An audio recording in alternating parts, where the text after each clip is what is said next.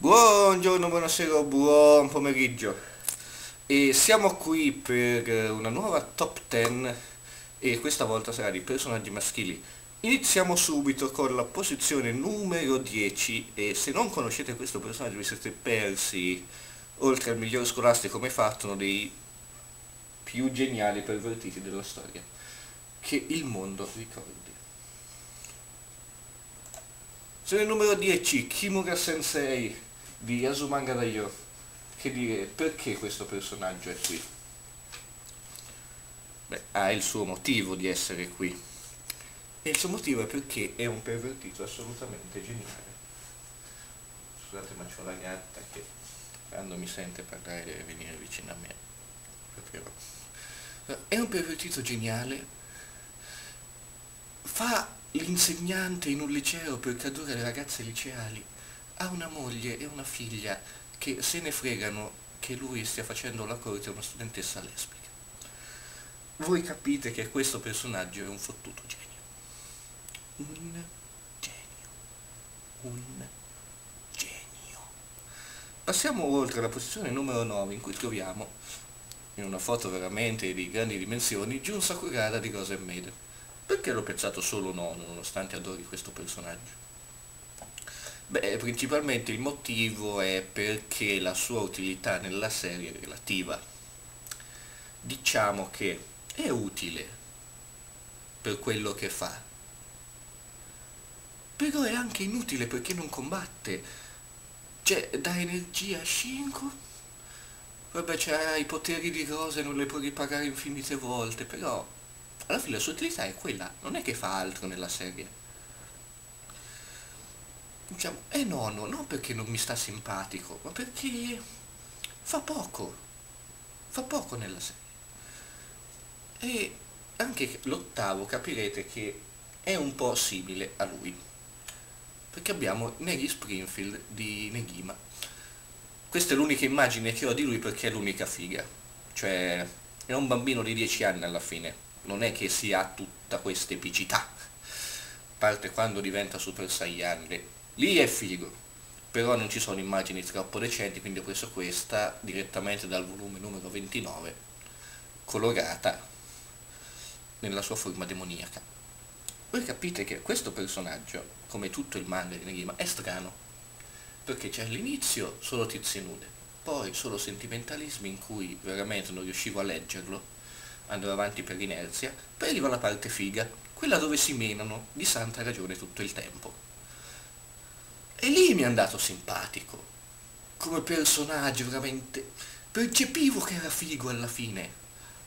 Poi dopo l'hanno rovinato col finale, secondo me, ma non sono qui per fare spoiler, quindi posizione numero 8, Nagy Springfield, per l'epicità mostrata nella seconda parte del manga. posizione numero 7, Araragi Koyomi di, della serie di Monogatari alla fine non è che abbia... Vabbè, ci siamo capiti. Perché l'ho piazzato solo settimo? Non perché non sia figo. È perché non combatte, è un pippone. C'è poteri di vampiro, usali! Mena, combatti, uccidi! No. Mm, no, lui preferisce non farlo. È figo, ci sa fare con le parole, ha salvato tante persone. Però, Cribbio, combatti ogni tanto fai vedere che sei potente. Per questo l'ho pensato solo settimo, non combatte, diversamente dalla posizione numero 6, che è. Ricorrerò a zombie da Suka. Quanti ricordi quest'uomo? Lo zombie più pompato della storia. E se lo dico io, fidatevi che è vero che di zombie me ne intendo. Cioè, perché è sesto? Perché è un gran figo combatte, porta la sua potenza al mille per cento, il suo maestro è una motosega parlante, vive con tre ragazze di cui due veramente inutili e che le odiate tutta la vita e continua ancora a odiarle. Eh, quando combatte, combatte con la gonna, vestito da donna. Non c'è un motivo per spiegarlo, lo sapete perché qua, è un gran figo quest'uomo. È un gran figo.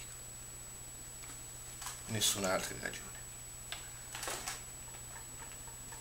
passiamo ora a metà classifica con la posizione numero 5 occupata da Arata di Trinity 7. Principalmente anche lui è un figo, combatte. Combatte. Sa, vuole combattere questo io lo apprezzo.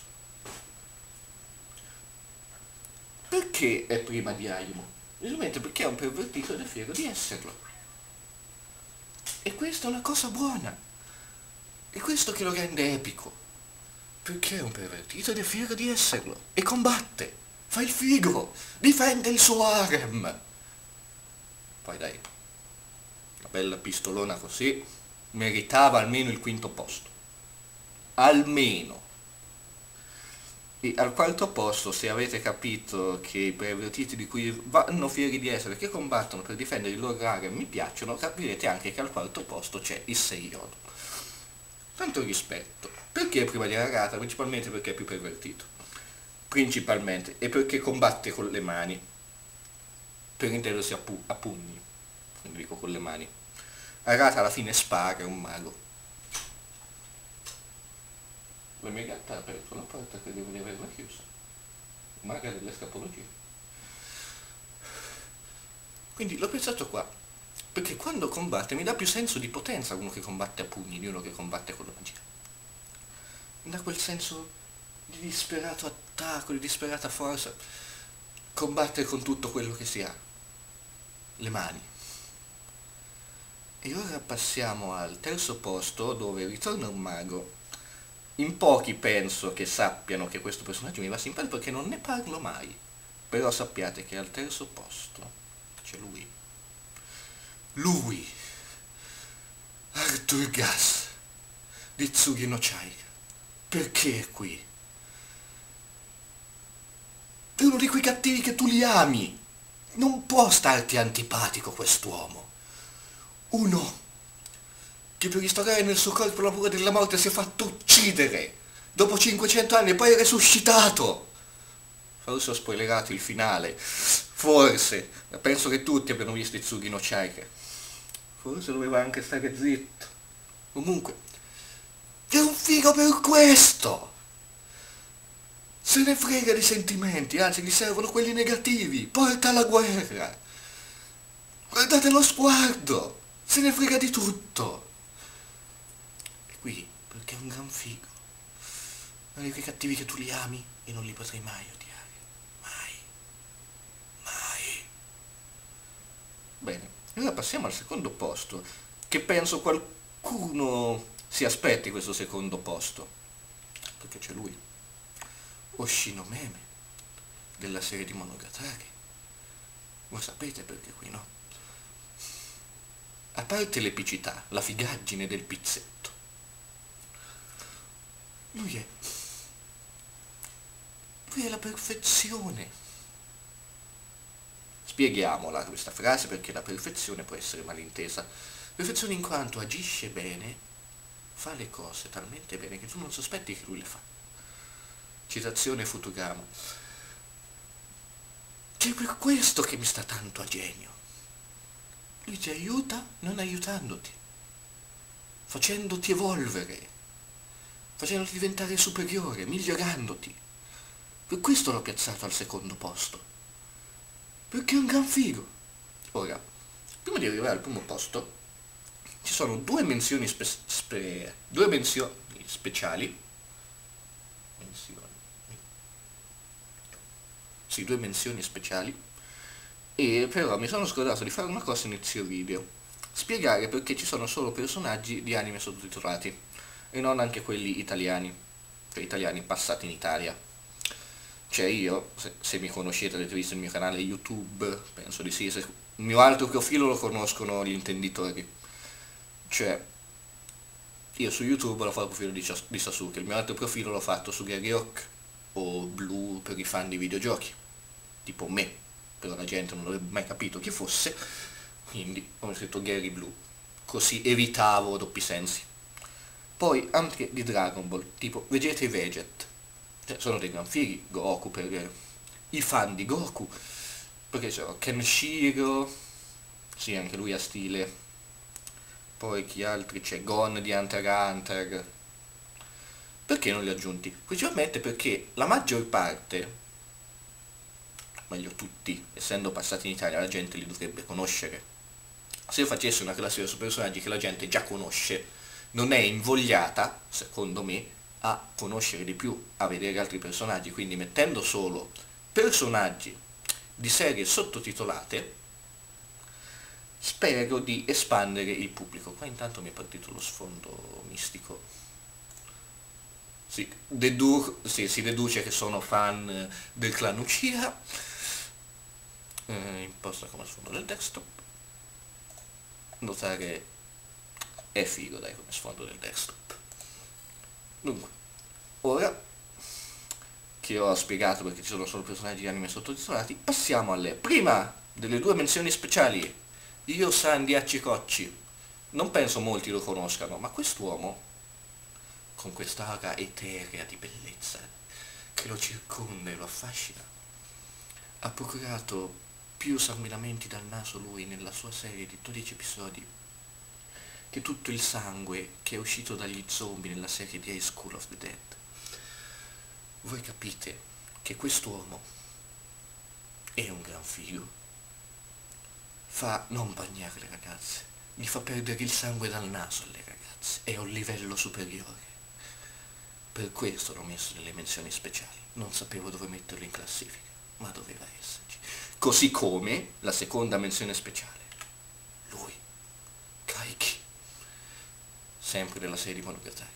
Io, quest'uomo, sapevo che doveva essere in questa classifica, lo sapevo, ma non sapevo dove. Credetemi, non, non sapevo dove metterlo. Quindi l'ho messo nelle missioni speciali. Perché è qui? A parte il look figo, perché chiunque si veste elegante è un figo, è uno dei postulati dell'esistenza umana. Il secondo motivo per cui è qui, cioè all'inizio non mi andava simpatico, era tutto quello d'archettone per i fatti suoi. Poi dopo ho capito la sua filosofia di vita è un genio. C'è un Cartesio di tempi moderni. È un me! Per quanto riguarda la filosofia di vita. Quindi non potevo ignorarlo. E l'ho messo nelle menzioni speciali. Poi a voi la scelta di mettere un, un posto a lui e a io nella classifica, sentitevi liberi e così siamo giunti al primo posto. Beh, tanto chi mi, chi mi, conosce lo sa chi c'è. Ne, neanche a dirvelo, cioè per esclusione è rimasto lui. Voglio dire, non che ci voglia un genio. Comunque, mostriamo perché al primo posto c'è lui. Stessa immagine della recensione di Zurino Ciaica, ma c'è lui, Toro. Perché eh, la gente se lo chiede. Uno combatte. E va bene. Tutti quelli che combattono devono essere in questa classifica. Due, non è pervertito, quindi merita rispetto perché va in giro con sole donne, e la sorella se lo vuole fare ma lui se ne frega. Numero 3, si trasforma. Ecco, questa cosa l'ho voluta tenere fino alla prima posizione secondo me la, se no si capiva.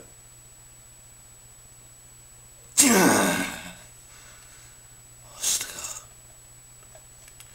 Perché si capiva? Perché a me i personaggi che si trasformano li adoro. Si devono trasformare i personaggi. Da quel senso di potenza. Quel senso di epicità. Si trasforma, non è pervertito, combatte. Cosa volete di più dalla vita?